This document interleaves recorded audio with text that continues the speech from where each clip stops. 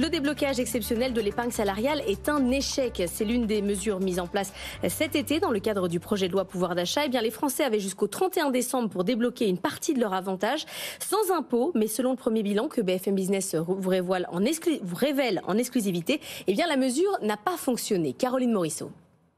Un coup d'épée dans l'eau, les Français n'ont quasiment pas puisé dans leur épargne salariale. À mi-décembre, autour d'un milliard d'euros avaient été retirés selon un professionnel du secteur. Sauf improbable accélération dans la dernière ligne droite, c'est donc un échec. Cela représente seulement 1% des montants potentiellement débloquables et c'est moitié moins que lors du précédent déblocage exceptionnel en 2013 sous François Hollande, qui était déjà considéré comme décevant. Pour les experts de l'épargne salariale, rien de surprenant.